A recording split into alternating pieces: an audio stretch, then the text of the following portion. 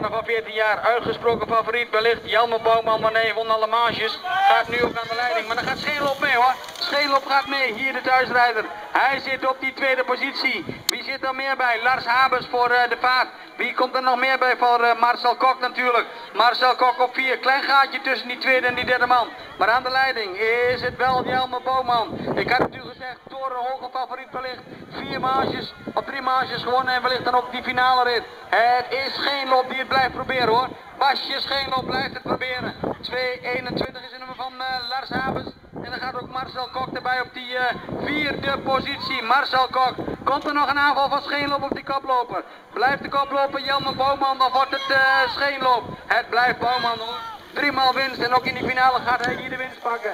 Scheenloop op nummer 2, Lars Havers op 3. En dan gaat hij mee hoor, de 2.55 van Marcel Kok op een uh, vierde positie. Gevolgd door de derde crosser Bart Meijering.